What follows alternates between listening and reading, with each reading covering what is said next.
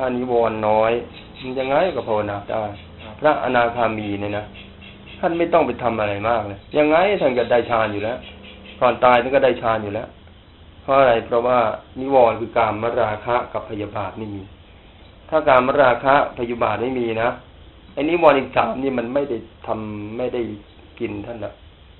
อ่าไอ้ถีนมิท่าอุตจวิจิกิชาอะไรวิจิกิชาก็ไม่มีแล้วด้วยท่านนั้นนี่ยังไงก็ได้ฌานอยู่แล้วท่าน พระนาคามีนะท่นสมประทานสี่ข้อแรกเลยก็คืออะไร ระวังไม่ให้อกุศลเกิดอกุศลที่ยังไม่เกิด ระวังไม่ให้เกิด ถ้าเกิดแล้วก็ต้องรีบละมันถึงจะมาเจริญกุศลได้ครับมันก็เจริญกุศลไม่ได้แล้วกุศลที่เจริญแล้ว มันก็ยังสามารถจะเสื่อมไปเรื่อยเสื่อมไปเรื่อยด้วยมันก็ต้องมี อนุรักษณาประทาน ก็ไม่ง่ายนะก็ใส่ปัจจัยหลายอย่างครับก็ที่มันดูว่าไม่ง่ายว่าจะไปศึกษานิดนิดหน่อยหน่อยแล้วก็ไปปฏิบัติอย่างนี้ครับปัญหามันก็คือว่า พอมันมีปัญหาแบบนี้ครับเฮ้เราจะไปแก้ยังไงครับก็นี่แหละ ถ้ารู้จุดประสงค์ตรงนี้นะว่า ห้ามนิวรณ์ห้าให้ได้ครับถ้าห้ามนิวรณ์ห้าให้ได้แล้ว ไม่ให้นิวรณ์เข้าได้ภาวนาได้ทำได้หรือเปล่า เพราะว่าดูว่าพระเถระต่างๆ ที่ท่านปฏิบัตินี่นะท่านไม่ได้เรียนอะไรบ้างนะไม่ได้เรียนปริยัติวิทยาทรงธรรมมากแต่ว่าท่านสามารถอยู่กับคำสอนได้ตลอดไม่ปล่อยให้อกุศลครอบงำในพระโมคคัลลานะเนี่ยนะท่านไปบัติเจ็ดวันท่านโง่โง่โง่โง่โง่ท่านพยายามอยู่คำสอนนะแต่ว่าทีนั้นมันครอบงำก็เลยไม่บรรลุ พอพระเจ้าไปเตือนให้แก้ไขนิวรณ์งอกงวงได้ท่านก็บรรลุพระองค์หนึ่งชื่ออะไรพระหุปุตตาเถรีบวชตอนอายุมากแล้ว ลูกหลานนี่ทิ้ง มีลูกต้งติดมีลูกต้งเจ็ดคน ลูกสะพ้ายเจ็ดคนท่านก็เลยมาบวชมาบวชนี่ท่านก็แก่มากแล้วเดินจงกรมกันหมวย ก็เดินรอบเสานี่นะเดินรอบเสา เกาะเสาก็เดินเดินเดินเดินทั้งคืนเลยนะ เดินไปเดินมาท่านก็บรรลุ เออ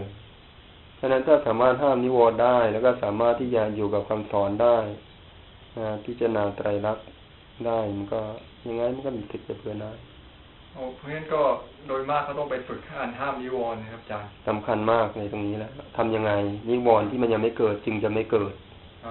อ่าแล้วก็นิวรณ์ที่เกิดขึ้นแล้ว มันถึงจะหมดไปโดยเร็ว ถ้าไม่มีนิวรณ์นี่จิตมันจะไม่อ่อนควรในการงานเลยก็ต้องจิตมันก็อ่อนควรในการงานก็น้อมไปง่ายอ่าบางทีก็ ไอ้คาสอนที่เรียนรู้มาแล้วนี่ นึกบางทีนึกไม่ออก ก็แสดงว่าจิตไม่มีกำลัง นิวรณ์ก็มีมีกำลังมากกว่า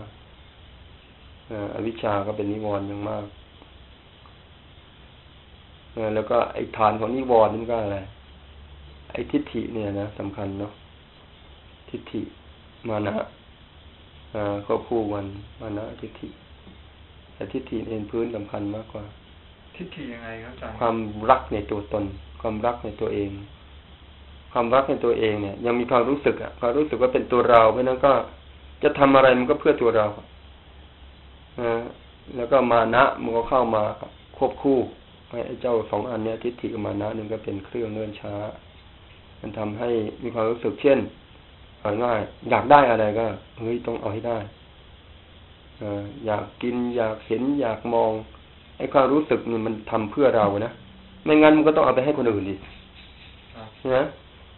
นะไอ้เวลาโกรธเนี่ยถามจริงไอ้ความรู้สึกลึกๆไม่ใช่ความยึดถือว่าเป็นตัวเราเลยโอ้เต็มที่เลยครับเออทำอย่างนี้กับเราได้ไงเออว่าเราได้ไงเนี่ยเออมานะมันก็อ้าว สนับสนุนใช่ไหมครับ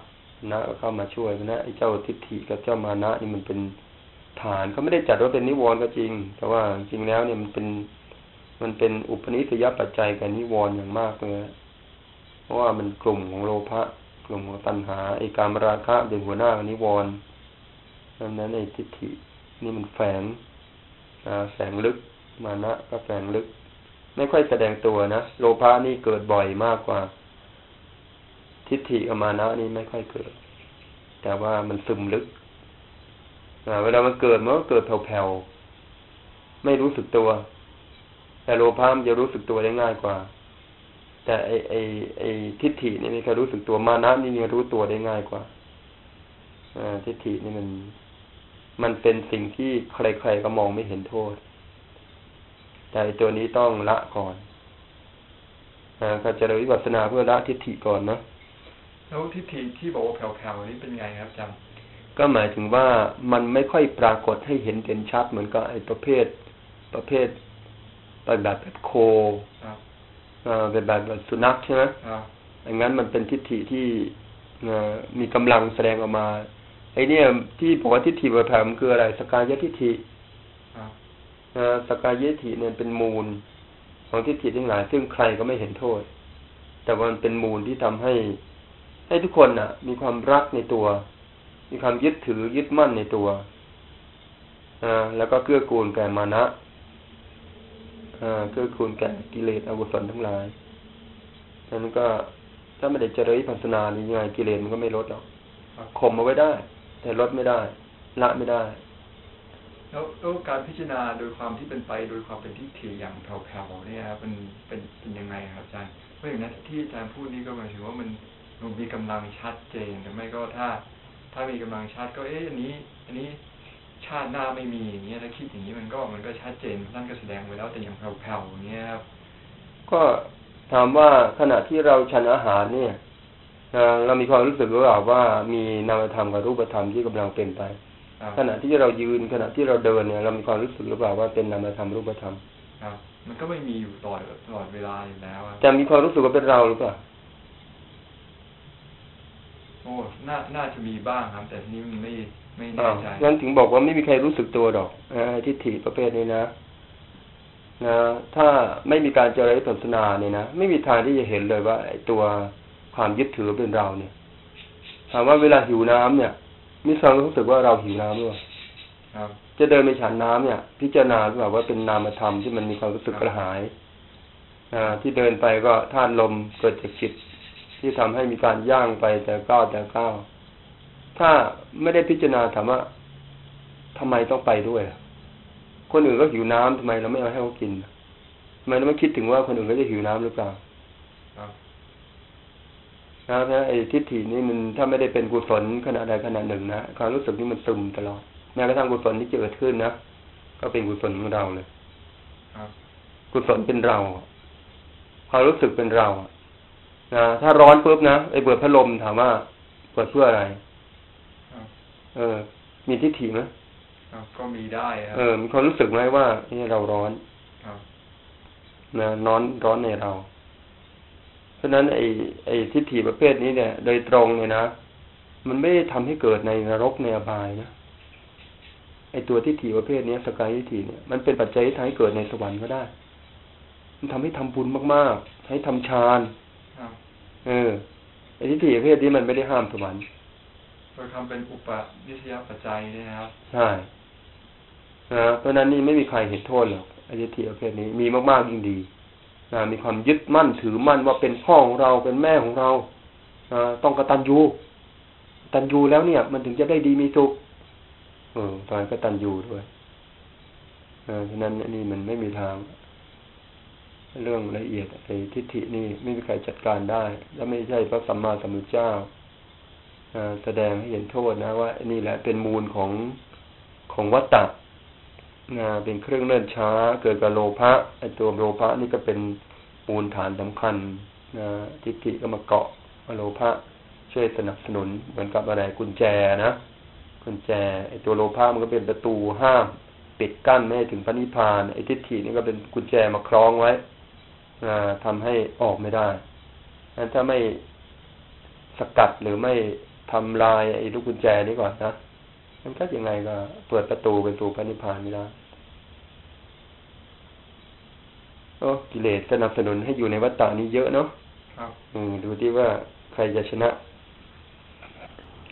ขอนอบน้อมแด่พระผู้มีพระภาคอรหันตสัมมาสัมพุทธเจ้าพระองค์นั้น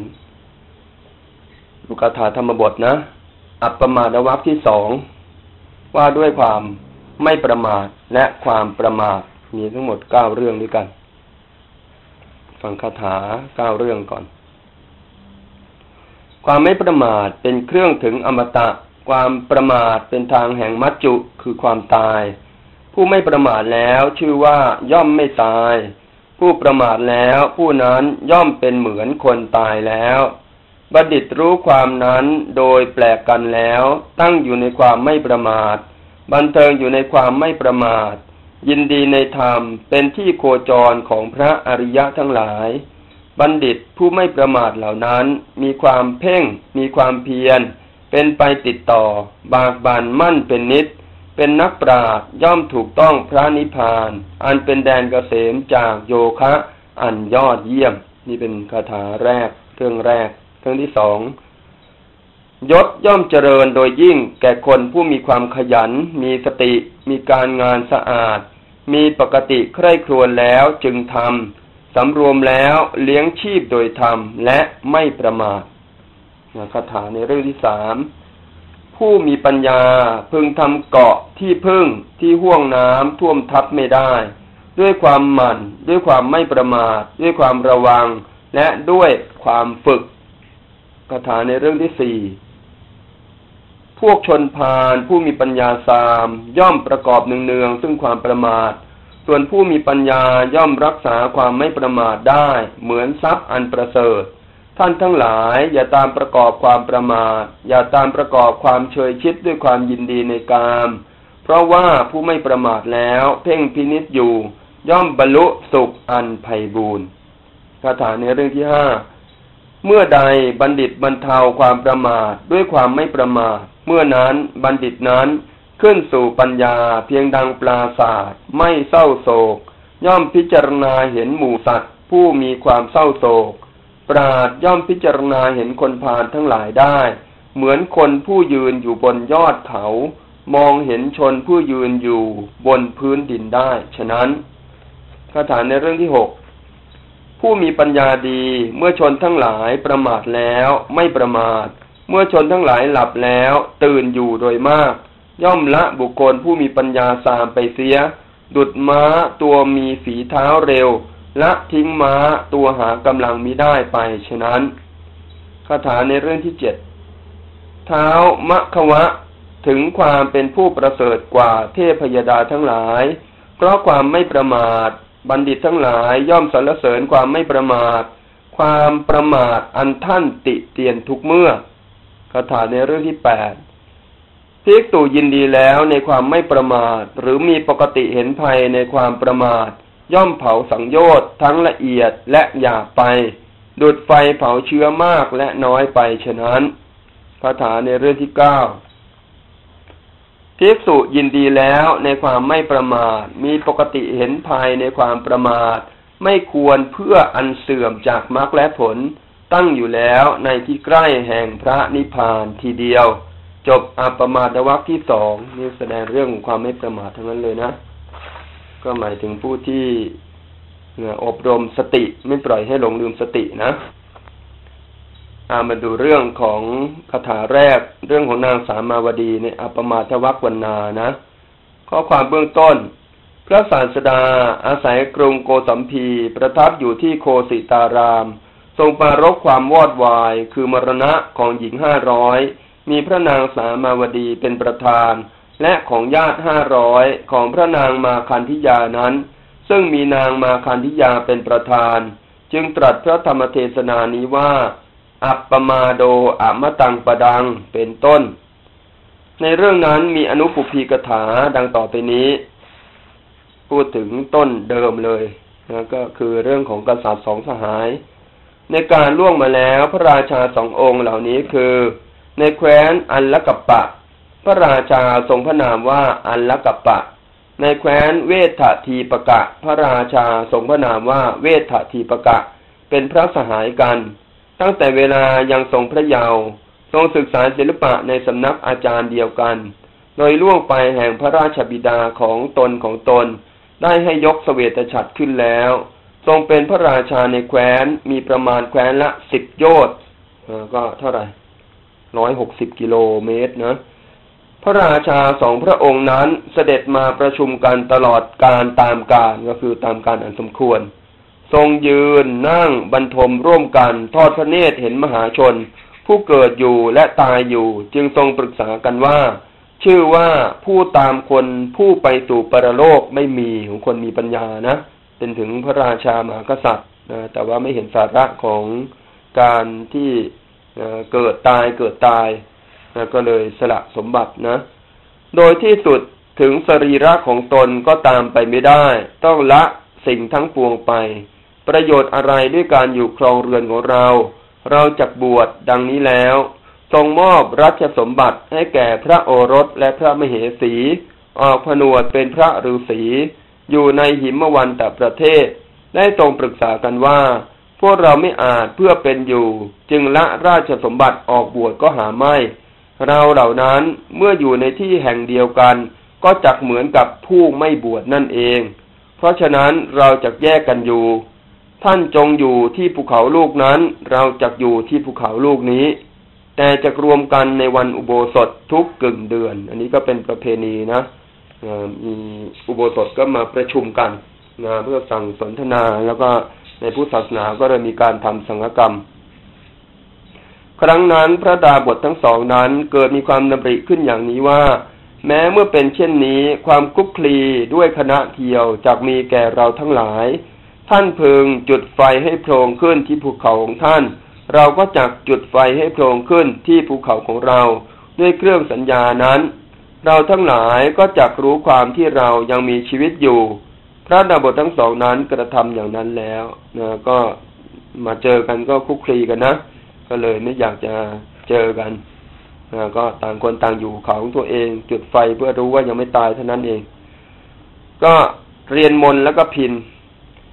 ต่อมาในการอื่น เวททีประกาศดาบททำการละบังเกิดเป็นเทพเจ้าผู้มีศักย์ใหญ่แต่นั้นครั้นถึงกึ่งเดือน อันละกับปะดาบท พอแลไม่เห็นไฟก็ทราบได้ว่าสายของเราทำการละเสร็จแล้ว แม้เวททีประกาศดาบท ตรวจดูทิพยสิริของตนในขณะที่เกิด ใครควรถึงกรรม เห็นกิริยาที่ตนกระทำจำเดิมแต่ออกบวชแล้วคิดว่า บัดนี้เราจะไปเยี่ยมสหายของเรา ในขณะนั้นจึงละอัตภาพนั้นเสีย เป็นเหมือนคนหลงทางไปยังสำนักของอันละกัปปะดาบทนั้นไหว้แล้วก็ได้ยืนอยู่ณที่สมควรแห่งหนึ่งเทวดาศักใหญ่ก็เป็นเพื่อนฤาษีแต่ก่อนเนี่ยนะถ้าเกิดเป็นเทวดาก็ได้จะมาเยี่ยมลำดับนั้น อันลักกับปะดาบทจึงถามบุรุษนั้นว่าท่านมาจากไหน บุรุษนั้นก็ตอบว่าท่านผู้เจริญ ผมเป็นคนหลงทาง เดินมาจากที่ไกลเหลือเกิน ก็พระผู้เป็นเจ้าอยู่รูปเดียวเท่านั้นในที่นี้หรือมีใครอื่นบ้างไหมอันลักกับปะฤาษีก็ตอบว่ามีทหารของเราอยู่ผู้หนึ่งนาบุรุษนั้นก็ถามว่าอยู่ที่ไหนนะอันล้วกับปันฤาษีก็ตอบว่าเขาอยู่ที่ภูเขาลูกนั้น แต่วันอุโบสถเขาไม่จุดไฟให้โพลงเขาจะตายเสร็จแล้วเป็นแน่ บุรุษนั้นก็กล่าวอีกว่าเป็นอย่างนั้นหรือขอรับ อันละ กับปะฤาษีก็ตอบว่าผู้มีอายุเป็นอย่างนั้น บุรุษนั้นก็กล่าวว่ากระผมคือผู้นั้นขอรับ อันละกับปะฤาษีก็ถามว่าท่านเกิดที่ไหน บุรุษก็ตอบว่า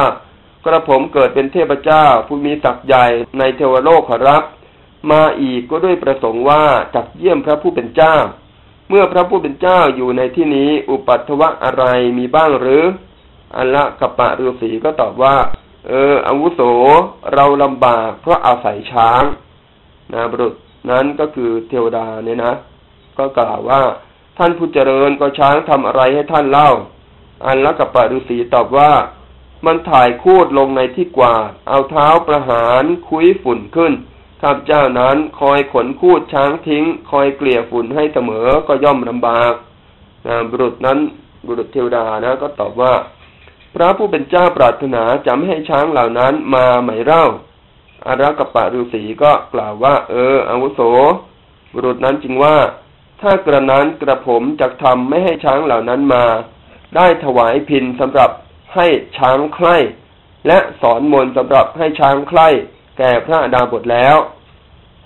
ก็เมื่อจะให้ได้ชี้แจงสายพินสามสาย ให้เรียนมนต์สามบทแล้วบอกว่า เมื่อดีดสายพินสายนี้ไร่มนบทนี้แล้ว ช้างไม่อาจแม้เพื่อจะหันกลับแลดูย่อมหนีไป เมื่อดีดสายพินสายนี้ไร่มนบทนี้แล้ว ช้างจะกลับเหลียวดูเบื้องหลังพลางหนีไป เมื่อดีดสายพินสายนี้ไร่มนบทนี้แล้ว ช้างนายฝูงย่อมน้อมหลังเข้ามาหา แล้วกล่าวว่าสิ่งใดอันท่านชอบใจ ท่านพึงทำสิ่งนั้นเถิดไหว้พระดาบทแล้วก็หลีกไป พระดาบทก็ไร่มนบทสำหรับไร่ช้าง ดีสายพินสำหรับไร่ช้างยังช้างให้หนีไปอยู่แล้วนะ ก็ได้อุบายนะ ได้พินไล่ช้างมานะก็เลยอยู่ผาสุกอยู่สบายหน่อย พระเจ้าอุเทนกับหัสดีลิงนะก็กำเนิดของพระเจ้าอุเทนนะ ในสมัยนั้นในกรุงโกสัมพีได้มีพระราชาทรงพระนามว่าพระเจ้าปรันตปะ วันหนึ่งพระเจ้าปรันตปะทรงนั่งผิงแดดอ่อนอยู่ที่กลางแจ้ง กับพระราชเทวีผู้ทรงคัน พระราชเทวีทรงห่มผ้ากำพลแดง อันมีราคาแสนหนึ่ง ซึ่งเป็นพระภูษาทรงของพระราชา ทรงนั่งปราศัยกับพระราชา ถอดพระธรรมรงค์อันมีราคาแสนหนึ่งจากพระองคุรีของพระราชา มาสวมใส่ที่นิ้วของพระองค์นะพระมเหสีก็ถอดมาสวมใส่เล่นนะ ในสมัยนั้นนกหัสดีลิงบินมาโดยอากาศเห็นพระราชเทวี จึงชะลอปีกบินโผลง โดยหมายว่าชิ้นเนื้อไอ้นกหัสดีลิงนี้ก็หมายถึงนกตัวเท่าช้างนะหัดถีหัสดีหัดถีก็แปลว่าช้างนะคงจะสายตาสั้นเลยนะ เห็นคนเป็นเป็นชิ้นเนื้อ พระราชาทรงตกพระทัยด้วยเสียงโผลงของนกนั้น ก็ลงมาโผล่ลงมานะบอกว่าคิดว่าเป็นชิ้นเนื้อก็จะมาเเฉี่ยวออกไป พระราชาก็เลยเสด็จลุกเข้าไปภายในพระราชนิเวศ พระราชเทวีไม่อาจไปโดยเร็วได้ เพราะว่าทรงคันแก่ และเพราะเป็นผู้มีชาติแห่งคนขาด ครั้งนั้นนกนั้นจึงโผลงยังพระนางนั้นให้นั่งอยู่ที่กรงเล็บนะก็กลุ่มเอาเล็บจับนะ จับตัวพระมเหสี บินไปสู่อากาศแล้วข่าวว่าพวกนกเหล่านั้นทรงกำลังเท่ากับช้างห้าเชือก เพราะฉะนั้นจึงนำเหยื่อไปทางอากาศ จับหน้าที่อันพอใจแล้วย่อมเคี้ยวมังสะกิน แม้พระนางนั้นอันนกนั้นนำไปอยู่ ทรงว่าต่อมรณะภัยจึงทรงดำริว่าถ้าว่าเราจะร้องธรรมดาเสียงคนเป็นที่หวาดเสียวของสัตว์จำพวกเกรฉาน มันฟังเสียงนั้นแล้วก็จับทิ้งเราเสีย เมื่อเป็นเช่นนั้นเราจักถึงความสิ้นชีพพร้อมกับเด็กในครรภ์แต่มันจับในที่ใดแล้วเริ่มจะกินเรา ในที่นั้นเราจะร้องขึ้น แล้วไล่ให้มันหนีไปนะก็แปลว่ามีไหวพริบมีปฏิภาณนะ ไม่ตกใจกลัวมีสติธรรมชัญญะ พระนางนั้นยับยั้งไม่ได้ ก็เพราะความที่พระองค์เป็นบัณฑิต ก็ในการนั้นที่หิมวันตประเทศมีต้นไทรใหญ่ต้นหนึ่ง เจริญขึ้นเล็กน้อยแล้วก็ตั้งอยู่โดยอาการดังมนดก นกนั้นนำเหยื่อมีเนื้อเป็นต้นไปแล้ว ย่อมเคี้ยวกินที่ต้นไทรนั้น เพราะฉะนั้นนกหัสดีลิงตัวนั้นนำพระราชเทวีแม้นั้นไปต้นไทรนั้นแล วางไว้ในระหว่างข้าคบไม้ แลดูทางอันตนบินมาแล้ว ในว่าการแลดูทางบินมาแล้วเป็นธรรมดาของนกเหล่านั้น ในขณะนั้นพระราชเทวีทรงดำริว่าบัดนี้ควรไล่นกนี้ให้หนีไป จึงทรงยกพระหัตถ์ทั้งสองขึ้น ทั้งปรบมือทั้งร้อง ให้นกนั้นหนีไปแล้ว ครั้งนั้นในเวลาพระอาทิตย์อัสดงคต ลมกรรมชวาก็ปั่นป่วนแล้วก็เกิดเจ็บท้องพอดีเลยนะ ก็ในพระคันของพระราชเทวีนั้นก็ได้ปั่นป่วนนะ มหาเมฆคำรามร้องตั้งขึ้นในทุกทิศ ชื่อว่าความหลับมิได้มีแล้วตลอดคืนอย่างรุ่ง แก่พระราชเทวี ผู้ดำรงอยู่ในความสุข ไม่ได้แม้สักคำพูดว่าอย่ากลัวเลยพระแม่เจ้านะเคยแต่มีความสุขมานะ แต่ว่าวันนี้ก็ได้รับความทุกข์นะตลอดคืนอย่างรุ่งก็ไม่ได้นอนเลย เพราะว่า หวาดกลัวนะแล้วก็อันความทุกข์ครอบงำแล้ว แต่เมื่อราตรีสว่าง ความปลอดโปร่งจากวราหกก็ดี ความขึ้นแห่งอรุณก็ดี ความคลอดแห่งสัตว์ ผู้อยู่ในคันของพระนางก็ดีก็ได้มีแล้วนะก็คลอดออกมานะ ในขณะเดียวกันนั่นแหละพระนางได้ตั้งชื่อพระโอรสว่าอุเทน เพราะถือเอาฤดูเมฆและฤดูอรุณขึ้นประสูติแล้วนะอุทะก็แปลว่า ขึ้นนะนะอุดยะนะอรุณขึ้น ก็อัลละกับปะดาบทก็เสียพิธีนะ เสียพิธีก็คือเสียศีลนั่นเองนะเพราะว่ามาเจอมาตุคาม ที่อยู่แม้ของอัลละกปะดาบทก็อยู่ในที่ไม่ไกลจากที่นั้น โดยปกติในวันมีฝนพระดาบทนั้นย่อมไม่ไปสู่ป่าเพื่อประโยชน์แก่พลาผล เพราะกลัวหนาว ไปยังโคนต้นไม้นั้น เก็บกระดูกเนื้อที่นกกินแล้ว ทุบต้มให้มีรสแล้วก็ดื่มกินนะก็ฉลาดนะ เพราะว่ามันในกระดูกนี่มันมีพวกนะโปรตีนพวกไขมันพวกวิตามินอะไรต่างๆนะ ก็เอาไปต้มแล้วก็มาดื่ม เพราะฉะนั้นแม้ในวันนั้น พระดาบทก็คิดว่าจักเก็บกระดูก จึงไปที่ต้นไม้นั้นสแสวงหากระดูกที่โคนไม้อยู่ ได้ยินเสียงเด็กข้างบนจึงแลดู เห็นพระราชเทวีจึงถามว่าท่านเป็นใคร พระราชเทวีก็ทูลว่าข้าพเจ้าเป็นหญิงมนุษย์ดาบทกล่าวว่าท่านมาได้อย่างไร เมื่อพระนางกล่าวว่านกหัสดีลิงนำข้าพเจ้ามา จึงกล่าวว่าท่านจงลงมา พระเทวีก็ทูลว่าข้าพเจ้ากลัวแต่ความเจือด้วยชาติ พระผู้เป็นเจ้าดาบทก็ถามว่าท่านเป็นใคร พระราชเทวีก็ทูลว่า ข้าพเจ้าเป็นกษัตริย์นะดาบทก็กล่าวว่า แม้ข้าพเจ้าก็เป็นกษัตริย์เหมือนกัน พระราชเทวีก็ทูลว่าถ้ากระนั้นท่านจงแถลงมาอย่างกษัตริย์นะกษัตริย์ก็มีมายานะก็คือประเพณีนะวิธีการต่างๆ พระดาบทนั้นก็ได้แถลงแล้ว พระราชเทวีก็ทูลว่า ถ้ากระนั้นท่านจงขึ้นมาพาบุตรน้อยของข้าพเจ้าลง พระดาบทนั้นก็ทำทางขึ้นโดยข้างหนึ่งขึ้นไปแล้ว รับเด็ก เมื่อพระราชเทวีกล่าวห้ามว่า อย่าเอามือถูกต้องข้าพเจ้า ก็ไม่ถูกพระนางนะนะก็มีมายานะ มายากษัตริย์จะสู้มายาหญิงได้ยังไงนะมายาหญิงก็ร้ายแรงกว่านะก็บอกว่าอย่าถูกตัวนะ ก็ได้อุ้มเด็กลงมา แม้พระราชเทวีก็ลงแล้ว ครั้งนั้นพระดาบทนำนางไปสู่อาสมบท ไม่กระทำศีลเพศเลยก็คือไม่ยุ่งเกี่ยวด้วยนะบำรุงแล้วด้วยความอนุเคราะห์ด้วยความกรุณานะนำน้ำพึ่งที่ไม่มีตัวมานำข้าวสาลีอันเกิดเองมานะได้ต้มเป็นยาคูให้แล้ว เมื่อพระดาบทนั้นกำลังบำรุงอย่างนั้นในการอื่นพระนางจึงคิดว่า เราไม่รู้จักทางมาทางไปเลย แม้เหตุจากว่าความคุ้นเคยของเรากับพระดาบทแม้นี้ก็ไม่มี ก็ทว่าพระดาบทนี้จักทอดทิ้งเราไปไหนเสีย เราแม้ทั้งสองคนก็จักถึงความตายในที่นี้นั่นเอง ควรเราทำอุบายอย่างใดอย่างหนึ่งทำลายศีลของพระดาบทรูปนี้เสียทำโดยอาการที่ดาบทรูปนี้จะไม่ปล่อยปละเราไปได้ ทีนั้นพระราชเทวีจึงประเล้าประโลมพระดาบท ด้วยการแสดงผ้านุ่งผ้าห่มหลุดลุ่ยให้ถึงความพินาศแห่งศีลแล้ว ตั้งแต่วันนั้นชนทั้งสองก็อยู่สมัครสังวาสกันแล้วนี่นะ โอ้นะน่าอเด็ดอนาถมากเลยนะสตรีนี่เขาเรียกเป็นอะไรนะงูพิษใช่ไหมกตัญญูงูพิษปทุสร้ายมิตรไปอยู่ร่วมเขาช่วยเหลือดูแลก็กลัวนะ ความรักตัวก็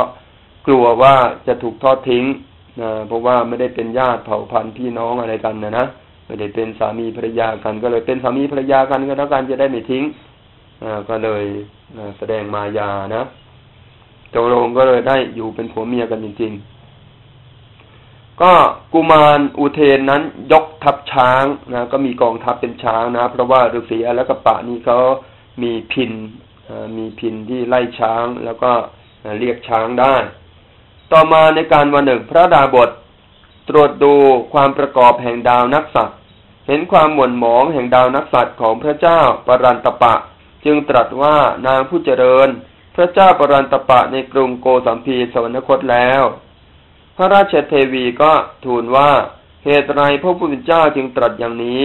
ท่านมีความอาฆาตกับพระเจ้าปรันตปะนั้นหรือดาบทก็กล่าวว่าไม่มีนางผู้เจริญ เราเห็นความเศร้าหมองของดาวนักสัตว์ของพระเจ้าปรันตปะจึงพูดอย่างนี้ พระราชเทวีก็ทรงกันแสงแล้วนะก็คิดถึงสามีเก่านะ ครั้งนั้นพระดาบทจึงตรัสถามพระราชเทวีนั้นว่า เพราะเหตุไรหล่อนจึงร้องไห้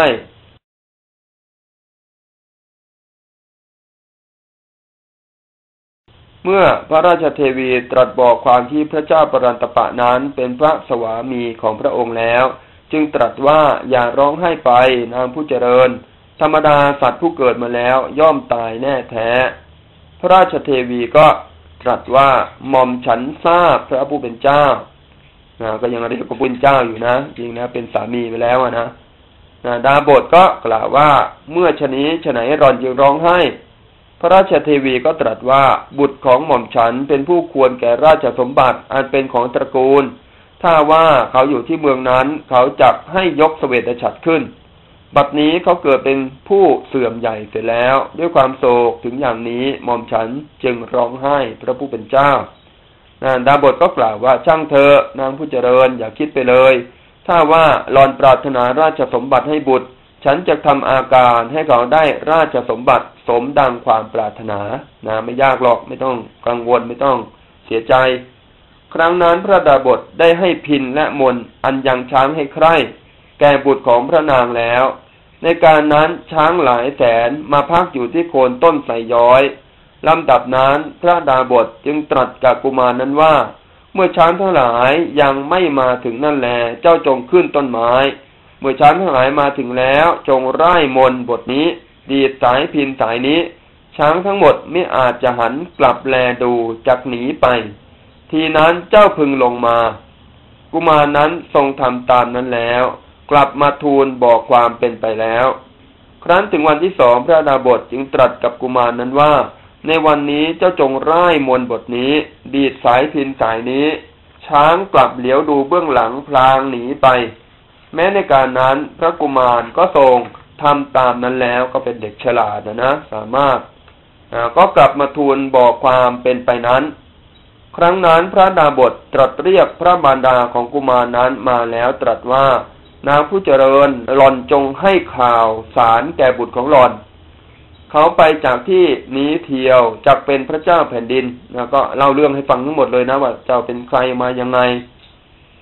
พระราชเทวีก็ตรัสเรียกพระโอรสมาแล้ว ตรัสว่าเจ้าเป็นลูกของพระเจ้าปรันตปะในกรุงโกสัมพีนกหัสดีลิงนำเรามาทั้งที่มีคัน ดังนี้แล้วตรัสบอกชื่อของเสนาบดีเป็นต้นแล้ว ตรัสว่าเมื่อเขาพากันไม่เชื่อ เจ้าพึงเอาผ้ากำพลอันเป็นพระปูสาหมและพระธรรมรงค์อันเป็นเครื่องประดับของพระบิดานี้แสดง ดังนี้จึงส่งไปแล้วนะก็ความรักของแม่นะ อยากให้ลูกเป็นพระราชา พระกุมารจึงทูลถามพระดาบทว่าบัดนี้หม่อมฉันจะทำอย่างไรดาบทกล่าวว่าเจ้าจงนั่งกิ่งข้างล่างแห่งต้นไม้ ไร่มนบทนี้ ดีดสายพินสายนี้ ช้างนายฝูงน้อมหลังเข้ามาหาเจ้า เจ้านั่งบนหลังของมันเทียวจงไปยึดเอาราชสมบัติก็มีกองทัพช้างไปนะพระกุมารนั้นถวายบังคมพระราชบิดาพระราชมารดาแล้ว ก็คือเอาพระฤาษีเป็นบิดานะทรงทำตามนั้นแล้ว นั่งบนหลังของช้างตัวที่มาแล้ว กระซิบบอกช้างว่า ข้าพเจ้าเป็นบุตรของพระเจ้าปรันตปะในกรุงโกสัมพี ขอท่านจงยึดเอาราชสมบัติอันเป็นของบิดาให้แก่ข้าพเจ้าเถิดนายนะเขาพูดกับช้างรู้เรื่องเลยนะ ช้างในฝูงฟังคำนั้นแล้ว จึงร้องเป็นเสียงช้างว่า ช้างจงมาประชุมกันหลาย ๆ พันนะก็ร้องเป็นเสียงช้างนะช้างก็มีภาษามีหลักไวยากรณ์ของช้างนะเนาะช้างหลายพันก็มาประชุมกันแล้ว ร้องอีกว่าช้างแก่ๆจงถอยไป ช้างแก่ก็พากันถอยไปแล้ว ร้องอีกว่าช้างตัวเล็กๆ จงกลับไปนะช้างเหล่านั้นก็พากันกลับไปแล้วอ่าแต่ว่าช้างพอดีมันเชื่อฟังมากเลยนะอ่าเป็นอะไรเป็นพญาช้าง เป็นนายฝูงนะจ่าฝูงเขาเรียกอะไรจ่าโขลงนะพระกุมารนั้นอันช้างนักรบคือช้างหนุ่มๆทั้งหลายเนี่ย ตั้งหลายพัน พากันแวดล้อมแล้วถึงบ้านปลายแดนแล้วประกาศว่า เราเป็นลูกพระเจ้าแผ่นดิน ผู้ที่ปรารถนาสมบัติจงมากับเราก็ไปต้อนนะไปบอกไปหาสมัครพรรคพวกพวกชายแดนชาวบ้านทั้งหลายนะเดี๋ยวก็ให้เข้ามาเป็นทหาร ตั้งแต่นั้นไปก็ทรงทำการรวบรวมผู้คน ไปล้อมพระนครไว้แล้วส่งคำขาดไปว่าจะให้เรารบหรือว่าจะให้ราชสมบัติ ชาวเมืองทั้งหลายกล่าวว่าเราจักไม่ให้ทั้งสองอย่าง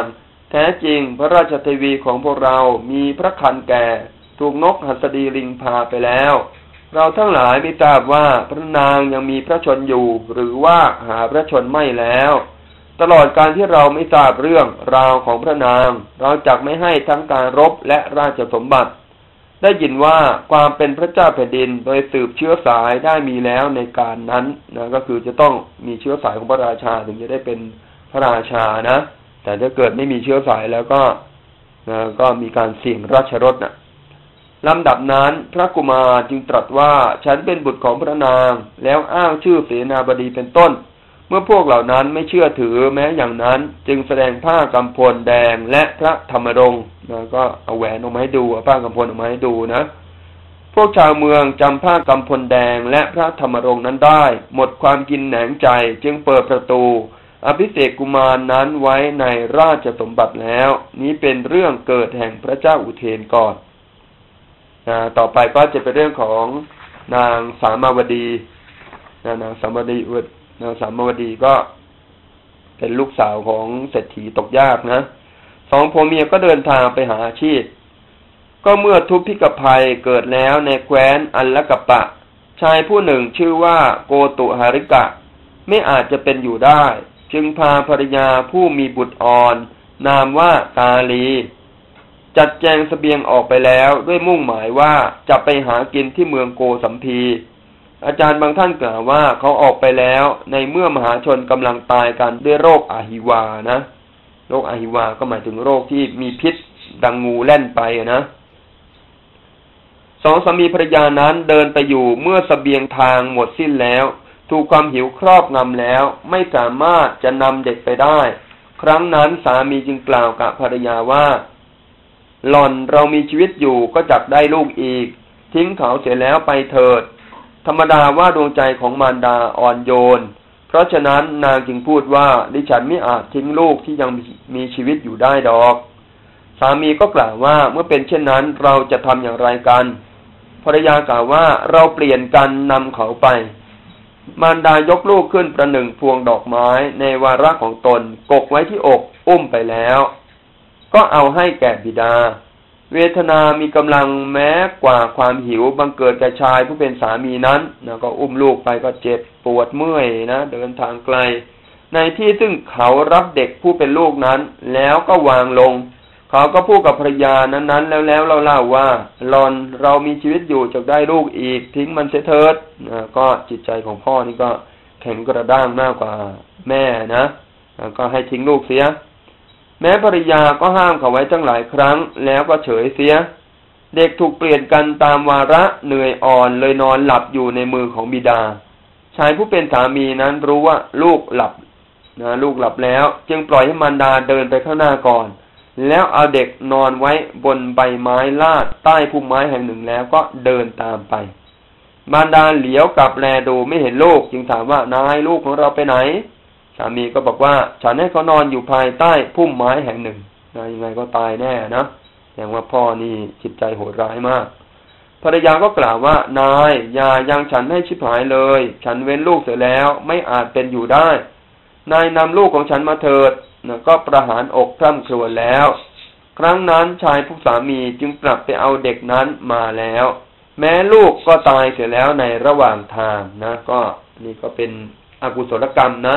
ซึ่งนายโกตุหริกะเนี่ยนะทิ้งลูกครั้งหนึ่งแต่ต้องไปถูกทิ้งอีกหลายชาติเลยทีเดียวนายโกตุหริกะทิ้งบุตรในฐานะมีประมาณเท่านี้ จึงถูกเขาทอดทิ้งเจ็ดวาระในระหว่างพบด้วยผลแห่งกรรมนั้นด้วยประการชนี้ ชื่อว่าบาปกรรมนี้อันบุคคลไม่ควรดูหมิ่นว่าน้อย สองสามีภรรยานั้นเดินทางไปถึงตระกูลของคนเลี้ยงโคแห่งหนึ่งแล้ว นะนายโกตุหริกะเนี่ย ตายไปเดี๋ยวไปเกิดเป็นสุนัขนะตอนหลังก็นะไปเห่าพระปเจกับพุทธเจ้าด้วยความรักนะเพราะว่าปเจกพระปเจกับพุทธเจ้านี่นะให้อาหารทุกวันทุกวันนะ ก็เลยตอนหลังก็เห่าด้วยความรักไปตายเป็นเกิดเป็นโคสกะเทพบุตรตอนหลังก็กลับมาเกิดเป็นมนุษย์ได้เป็นโคสกะเทถีแล้วก็สร้างโคสิตารามนะอันวัตตะที่ไปไปมามาก็เดี๋ยวก็ดี เดี๋ยวก็ร้ายนะก็ น่าเบื่อหน่ายเหมือนกันเนาะแต่ว่ากิเลสนะไม่ยอมเนาะก็ให้ทำกุศลอกุศลต่อไปนะวันนี้เอาแค่นี้ก่อนนะโมทนาเลยครับ ขอนอบน้อมแด่พระผู้มีพระภาคอาหารสัมมาสัมพุทธเจ้าพระองค์นั้นคาถาธรรมบทนะ เรื่องของนางสามาวดีต่อ ก็ประวัติความเป็นไปของนายโกตุหริกะ เป็นผู้ที่เดินทางไกลแล้วก็ทิ้งลูกทิ้งลูกครั้งเดียวนะตอนหลังต้องไปโดนทิ้งเจ็ดครั้ง แต่ว่าจะเกิดเป็นเป็นสุนัขกก่อนนะแล้วก็ไปเห่าแล้วพระเจกพุทธเจ้าก็เลยได้ไปเกิดเป็นโคสกะเทพบุตรนะตอนหลังก็กลับมาเกิดเป็นมนุษย์เป็นโคสกะเศรษฐีด้วยไอานิสงการเห่าพระประเจกพระพุทธเจ้าด้วยความรักนายโกตุหาริกะตายไปเกิดเป็นสุนัข ก็ในวันนั้นมีการทำขวัญแม่โคนมของนายโคบาล ในเรือนของนายโคบาล พระปัจเจกพุทธเจ้ารูปหนึ่งฉันเป็นนิดนายโคบาลนนั้นนิมนต์พระปัจเจกพุทธเจ้าฉันเสร็จแล้วจึงได้ทำการมงคล ข้าป่าญาติเขาจัดแจงไว้เป็นอันมาก นายโคบาลเห็นสองสามีภรรยานั้นมา จึงถามว่าท่านมาจากไหน ทราบเรื่องนั้นแล้ว เป็นกุลบุตรมีใจอ่อนโยน จึงกระทำความสงเคราะห์ในสองสามีภรรยานั้น ให้ให้ข้าวปลาญาติกับเนยใสเป็นอันมากนะก็เป็นคนใจดีนะนายโคบาลก็คือใครนายโคบาลคบาลคนเลี้ยงโคคนดูแลคนเลี้ยงโคนะก็ทราบว่าลูกนะลูกตายนะลูกตายแล้วนะเอาทิ้งเดินไปเดินมาก็นะลูกก็ได้รับความบอบช้ำมากก็เลยตาย ก็สงสารให้ข้าปายาเยอะแยะเลย ภรรยาจึงกล่าวกับสามีด้วยความรักนะว่า นายเมื่อท่านมีชีวิตอยู่ ฉันก็ชื่อว่ามีชีวิตอยู่ ท่านท้องพร่องมานาน จงบริโภคตามความต้องการ ดังนี้แล้วจึงวางข้าปายาตไว้เบื้องหน้าเขาพร้อมกับเนยใส ตนเองบริโภคสับปิเหลวแต่น้อยหนึ่งเท่านั้น อันนี้ก็ด้วยความรักของภรรยานะภรรยาที่รักสามีนะ ก็ตัวเองก็ นะเทสระนะกินแต่เนใสหน่อยหนึ่งส่วนข้าวปายาก็ให้นายโกตัวริกะ สมัยก่อนนี่ผู้หญิงเขากินข้าวที่หลังสามีเนาะนะกินที่หลังพ่อผัวแม่ผัวที่หลังสามี สมัยนี้ก็ต้องกินพร้อมกันใช่ไหมดีไม่ดีกินก่อนด้วยเนาะอืม ดีแล้วที่ไม่มีนะถ้ามีก็ต้องไปล้างถ้วยล้างจานให้กับเขาอะนะ ปัจจุบันนี้เขาไม่เป็นแม่สีเรือนนะต้องเป็นพ่อสีเรือนแทน ก็นายโกตุฮาริกะนั้นไม่ได้กินมานานนะก็เลยบริโภคมากไป ไม่อาจจะตัดความอยากในอาหารได้ เพราะข้าวปลาญาตก็อร่อยด้วยนะ เพราะว่าตัวหิวมาตั้งเจ็ดแปดวันแล้ว นายโคบาลครั้นให้ให้ข้าปลาญาตแก่สองผัวเมียแล้ว ตนเองจึงเริ่มจะบริโภค นายโกตุหริกะนั่งแลดูเขาแล้ว เห็นก้อนข้าปลาญาติที่นายโคบาลปั้นให้แก่นางสุนัข ซึ่งนอนอยู่แล้วใต้ตังจึงคิดว่า นางสุนัขตัวนี้มีบุญจึงได้โภชนะเห็นปานนี้เนืองนิดนะนะดันไปคิดถึงว่าโอ้ยไอสุนัขตัวนี้มันดีนะเนี่ยเออไอสุนัขตัวนี้มันมีบุญเยอะนะเนี่ย ได้ฆ่าปลายาตนะบ่อยๆนะ อันนี้เป็นอารมณ์ก่อนตายนะเป็นอารมณ์ก่อนตายนะ ก็จิตไปประวัติถึงนะตกกลางคืนนายโกตุหริกะนั้นไม่สามารถจะยังฆ่าปลายาตให้ย่อยได้ จึงทำการละ อันนี้ตายเพราะกินนะพวกเดียวกับใครเออพวกเดียวกับชูชกนะก็เลยตายเลย แต่ว่าไปคิดถึงนางสุนัขนั้นก่อนตายสิก็เลยเข้าท้องสุนัขเลยแต่เกิดในท้องแห่งนางสุนัขนั้น ครั้งนั้นภรรยาของเขาทำสรีรกิจเผาแล้ว ก็ทำการรับจ้างอยู่ในเรือนนั่นเองนะก็เลยเป็นลูกจ้างในเรือนนั้น ได้ข้าวสารธนานหนึ่งหุงแล้วเอาใส่บาตรพระปัจเจกพุทธเจ้าแล้วกล่าวว่า ท่านเจ้าข้าขอกุศลนี้จงถึงแก่ทาสของท่านเถิดก็คือถึงแก่ดิฉันเนี่ยนะ ดังนี้แล้วจึงคิดว่าควรเราจะอยู่ในที่นี้แล พระผู้เป็นเจ้าย่อมมาในที่นี้หนึ่งนิด เออ เราอยู่ในที่นี้จะได้ทำบุญนะ เพราะว่าพระปัจเจกพุทธเจ้าก็มาบิณฑบาตที่นี่ประจำทายธรรมจักมีหรือไม่มีก็ช่างเถิด เราไหว้อยู่ทำความขวนขวายอยู่ ยังใจให้เริ่มใสอยู่ทุกวันจักประสบบุญมากแสดงว่านางนี้ก็มีปัญญานะภายหลังได้เป็นใครรู้ไหมเป็นภรรยาของเออเป็นปริยาของเศรษฐีโคสกะเศรษฐีนะได้บรรลุด้วยมั้งที่ฉลาดนะ อ่าใช่นะก็คิดดังนี้แล้ว บอกว่าทายธรรมไม่มีก็นะไหว้อยู่ทุกวันนะทำจิตให้เริ่มใสอยู่ทุกวันก็จะได้บุญมากเลย นางจึงทำการรับจ้างอยู่ในบ้านนั้นนั่นเอง ส่วนสุนัขนั้นตายเพราะอาลัยในพระปัจเจกพุทธเจ้านะ เดี๋ยวมาเกิดเป็นลูกสุนัข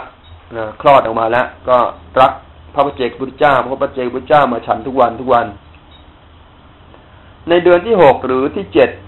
นางสุนัข แม้นั้นแหลก็คลอดลูกออกมาตัวหนึ่ง นายโคบาลจึงให้ให้น้ำนมของแม่โคนมตัวหนึ่ง แก่ลูกสุนัขนั้น ไม่นานเท่าไหรนัก ลูกสุนัขนั้นก็เติบใหญ่นะกินนมโคน้ำก็เลยตัวใหญ่นะ ครั้งนั้น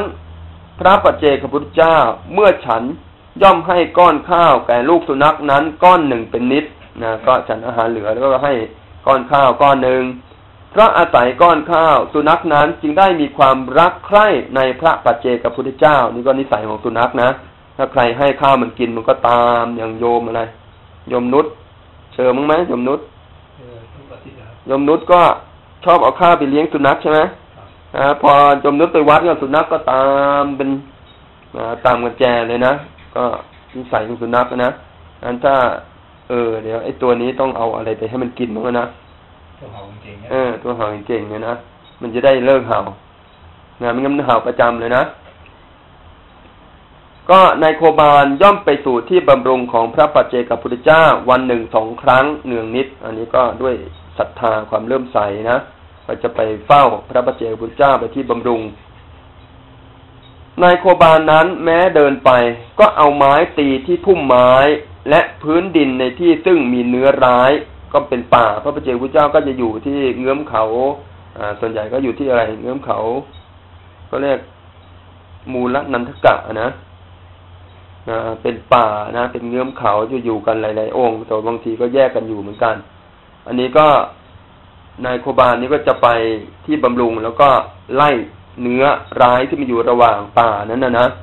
ระหว่างทางแล้วก็ส่งเสียงไล่ด้วยนะ สุสุสามครั้ง ยังเนื้อร้ายให้หนีไปแล้ว แม้สุนัขกก็ไปด้วยกับนายโคบาลนนั้นมันสุนัขมันก็ฉลาดนะนะ มันก็สังเกตดูนะว่าเจ้านายนี่ไล่เนื้อร้ายเนี่ย ตรงไหนนะแล้วส่งเสียงตรงไหนมันก็จำเอาไว้นะ ในวันหนึ่งนายโคบาลนนั้น กล่าวกระพระปัจเจกพุทธเจ้าว่าท่านผู้เจริญ การใดผมไม่มีโอกาสว่าง การนั้นผมจะส่งสุนัขตัวนี้มา แสดงว่าสุนัขตัวนี้ก็ฉลาดนะ ได้รับการฝึกฝนไว้ ขอพระผู้เป็นเจ้าพึงมาด้วยเครื่องหมายแห่งสุนัขที่กระผมส่งมาแล้วนะถ้าส่งสุนัขมาตัวเดียวก็ให้รู้ว่านิมนต์นะให้สุนัขพาไปนะ ตั้งแต่นั้นมาในวันที่ไม่มีโอกาส นายโคบาลนั้นก็ส่งสุนัขไปว่า พ่อจงไปจงนำพระผู้เป็นเจ้ามา ด้วยคำเดียวเท่านั้น สุนัขนั้นก็วิ่งไป ถึงที่ซึ่งนายตีพุ่มไม้และพื้นดินก็เห่าขึ้นสามครั้ง รู้ว่าเนื้อร้ายหนีไปแล้วด้วยเสียงนั้น ไปถึงที่อยู่ของพระปัจเจกพุทธเจ้า ผู้กระทำสรีระปฏิบัติแต่เช้าตรู่เข้าไปยังบรรณศาลา นั่งอยู่แล้ว ถึงประตูบรรณศาลาจึงเห่าขึ้นสามครั้ง ให้ท่านรู้ว่าตนมาแล้วนะ ก็จะมารับพระปัจเจกพุทธเจ้า ที่นี้ไม่ใช่ที่เงื้อมเขาอนันทมูรกะนะนะแต่ว่าที่เงื้อมเขานันทมูรกะนั้น พระปัจเจกพุทธเจ้าจะอยู่กันทีละห้าร้อยห้าร้อยนะ อันนี้คนแยกมาอยู่ต่างหากก็ไปหาไปรับพระประเจกพุทเจ้าก็เห่าขึ้นสามครั้ง แล้วก็หมอบอยู่ที่ส่วนข้างหนึ่งด้วย เมื่อพระประเจกพุทเจ้ากำหนดเวลาออกไปแล้ว สุนัขนั้นก็เดินเห่าไปข้างหน้าข้างหน้าเที่ยวนะก็เป็นอะไรนะนะนำหน้าไปนะเป็นไกด์นำหน้าไป พระปัจเจกพุทธเจ้าเมื่อจะทดลองสุนัข ดูซิว่าจะฉลาดจริงหรือเปล่านะ จึงทำเป็นเดินไปทางอื่นในระหว่างระหว่าง ทีนั้นสุนัขจึงไปยืนเห่าขวางหน้าพระปัจเจกพุทธเจ้านั้นไว้ แล้วนำท่านลงทางนอกนี้ก็คือให้เข้ามาในทางที่ถูกนะที่จะไปบ้านนายโคบาลเนี่ยนะ ต่อมาในการวันหนึ่ง พระปัจเจกพุทธเจ้าเมื่อจะทดลองสุนัขนั้น จึงเดินไปสู่ทางอื่นแล้ว แม้สุนัขนั้นก็ยืนขวางห้ามอยู่ข้างหน้า ก็ไม่กลับ เอาเท้ากระตุ้นสุนัขแล้วเดินไป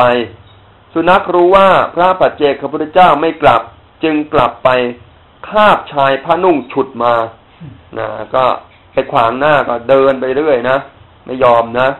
พระปัจเจกพุทธเจ้าก็ทดลองที่ว่าฉลาดจริงหรือเปล่านะกรณีก็เลยไปคาบชายจีวรเลย แล้วก็ดึงฉุดไม่ให้ไป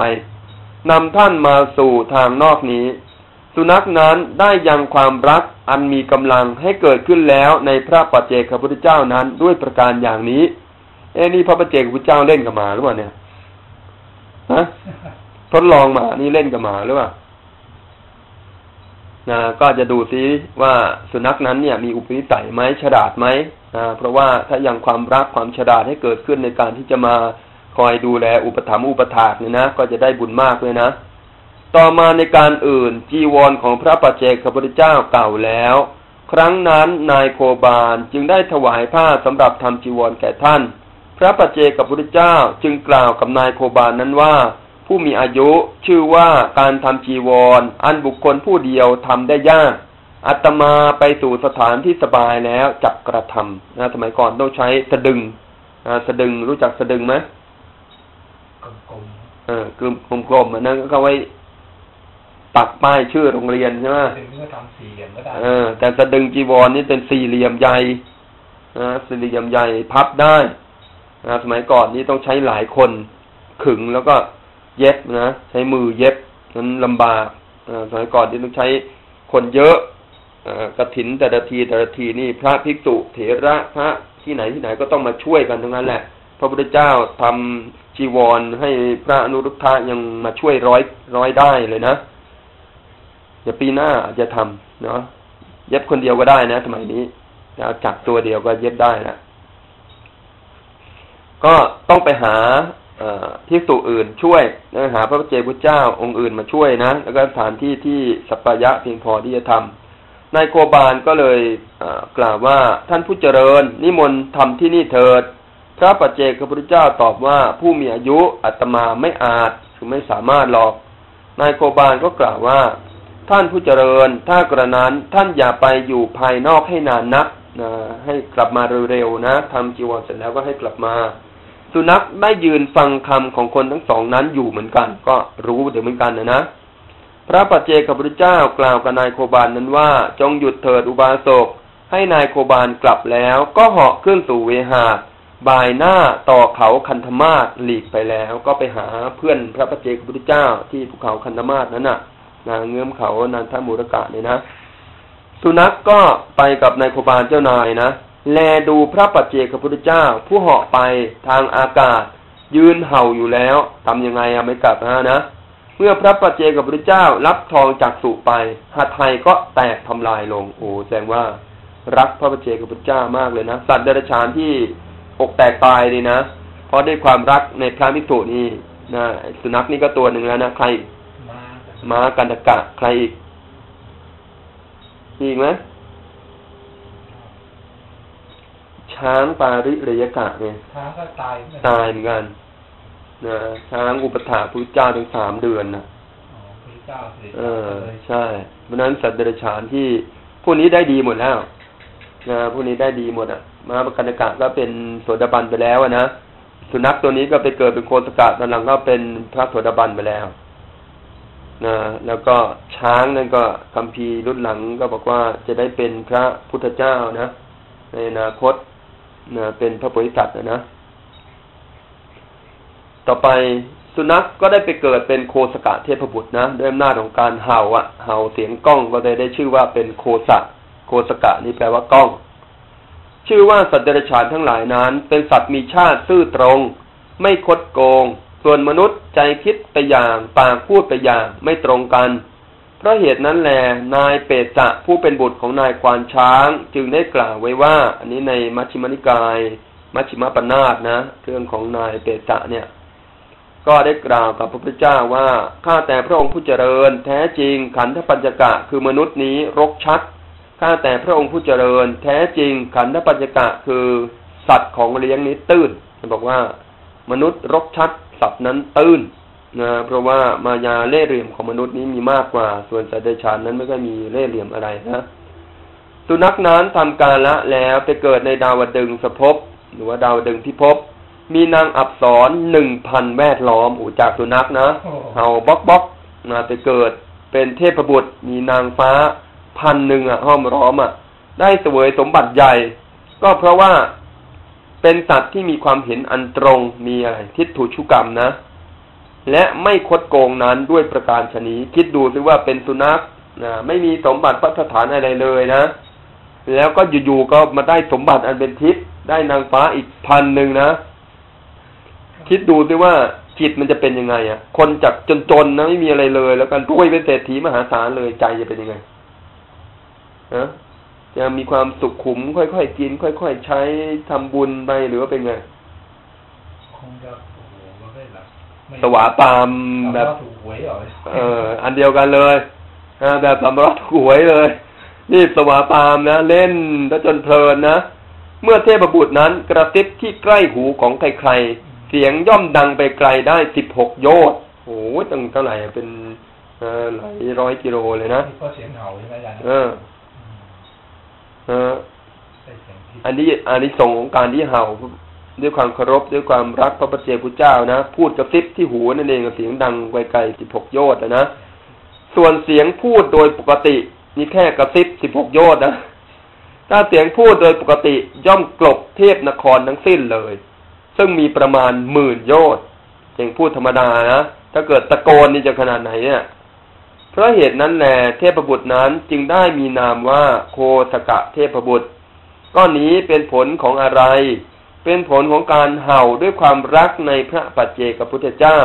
โคสกะเทพบุตรนั้นดำรงอยู่ในเทพนครนั้น ไม่นานก็ก็ก็เคลื่อนแล้ว เพราะอะไร เพราะว่ามัวแต่เพลิดเพลินกับนางนาเทพอับสรนะจนกระทั่งลืมบริโภค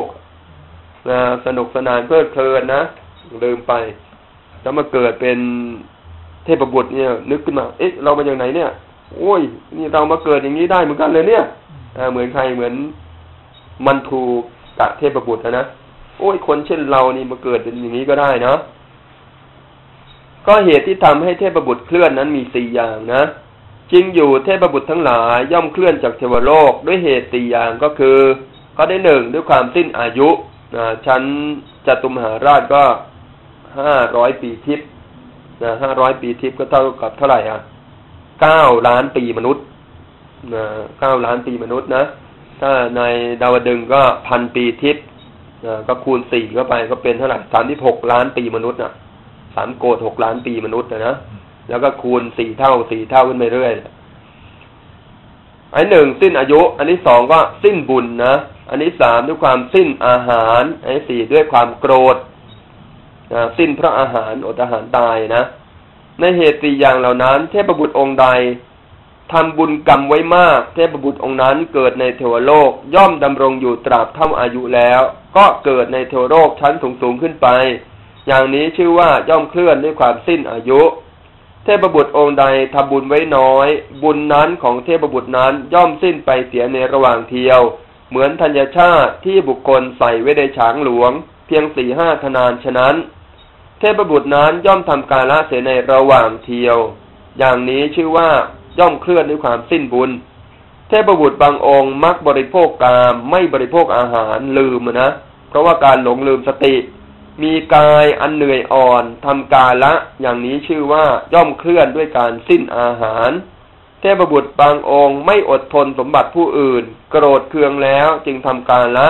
อย่างนี้ชื่อว่าย่อมเคลื่อนด้วยความโกรธนะก็อิสาริษยาซึ่งกันและกันนะ ก็ทำให้เคลื่อนได้เหมือนกัน ส่วนโคสกาเทพบุตรนั้นนะก็เคลื่อนด้วยการหลงลืมสติลืมกินอาหาร เพราะว่าเล่นเพลิน ก็ไปเกิดในกรุงสวัสถี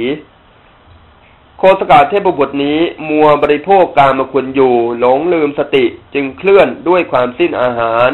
ก็แลเคลื่อนเสร็จแล้วไปถือปฏิสนธิในท้องแห่งหญิงงามเมืองในกรุงโกสัมพีนะไปเกิดในหญิงโสเพณีนะ ในท้องของหญิงโสเพณี อันนี้ก็ด้วยของจะเป็นผลของอาวุธลกรรมนั่นแหละ ในวันคลอดนางถามตาสีว่านี่อะไร เมื่อนางตาสีตอบว่าลูกชายเจ้าค่ะ จึงบอกให้นางทาสีเอาไปทิ้งด้วยคำว่า